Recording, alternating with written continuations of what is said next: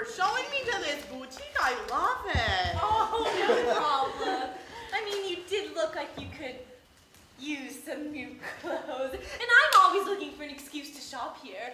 I mean, I'm pretty sure I single-handedly kept this place in business after my divorce. So, so what do you think of this one? oh, uh, that's great style, but uh, yellow is a bit passe, don't you think? Yellow is my favorite color. Yeah, yellow is a good accents color. And I've heard yellow is in this year. oh, since when do you know what's in? What, what's that supposed to mean? Oh, yeah, who doesn't love yellow? Whatever, I'm. Uh, Sandy, I just don't think you should waste your money on that blouse.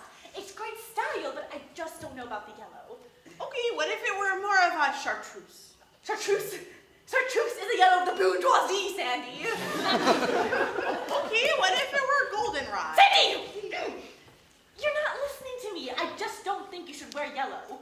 What, what do you have against yellow? It makes you look tacky. Do you look tacky? Sandy, I am your friend, and I want to save both of us the embarrassment of you walking around in the color of pits.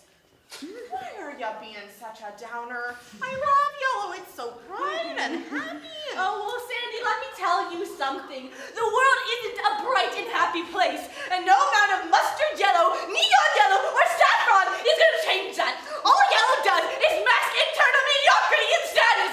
Oh, sorry. well, I have a beautiful home, a loving family, and I was just elected president of the PTA. Oh, so maybe I'm not the one who's mediocre and sad.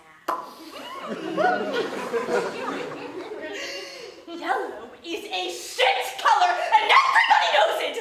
Yellow is the worst flavor of Gatorade. Yellow is a